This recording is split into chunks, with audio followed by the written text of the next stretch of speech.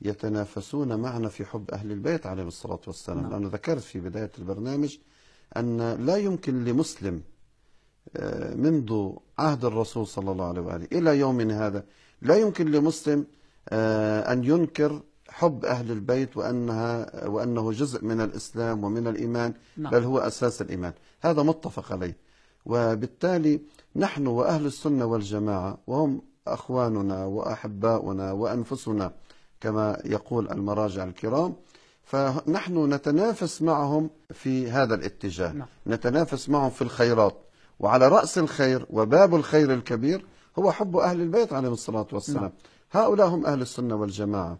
وهكذا عرفناهم وهكذا كما يقول الأخ من العراق يتنافسون مع الشيعة في زيارة المراقد الشريفة في إقامة المجالس في إقامة الموالد خصوصا سنة العراق. يعني اسمحوا لي هنا أن يعني أبين حقيقة تاريخية بأن سنة العراق هم وإن كانت العبارة ربما لا تكون يعني مناسبة ولكن يعني سأقولها. تفضل. سنة العراق يعني خصوصا سنة الجنوب والديالى وهذه المناطق هم أفضل سنة في علاقتهم مع أهل البيت ومع شيعة أهل البيت عليهم الصلاة والسلام.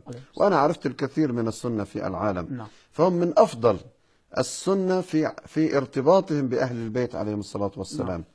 وأما الحالة التي الحالة هذه التي حصلت في الآونة الأخيرة هذه حالة طارئة. إن شاء الله ستذهب ستذهب كما مع الأمريكان وستذهب مع هذا الفكر التكفيري الذي أراد أن يقول للسنة في العراق بأنكم أنتم آه، يعني لابد لكم أن تتعاملوا مع الشيعة بحالة. عدائية نعم. نعم هذا إن شاء الله سيذهب مع الأمريكان وسيذهب مع الفكر التكفيري إن شاء الله وأنا أؤكد مرة أخرى بأن السنة في العراق يشاركون في الزيارات في المجالس في المآتم آه، حتى في آه، في في الخدمات وهذا ما شاهدته بنفسي. ومرة أخرى أيضا أقول بأن السنة في العالم آه، هم كالشيعة في آه، اعتقادهم بأن حب أهل, حب أهل البيت هو أساس الإيمان ونتنافس كلنا في هذا الطريق